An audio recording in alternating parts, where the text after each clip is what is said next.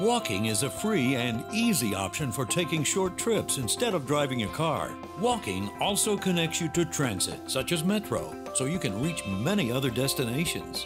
But before you head out, there are important safety tips to remember. Be visible at all times. Know what's going on around you, especially at night.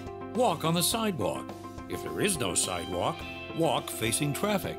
Always use crosswalks and make eye contact with drivers before crossing. Be careful at intersections. Don't assume vehicles will stop. Look left, right, and left again before crossing a street.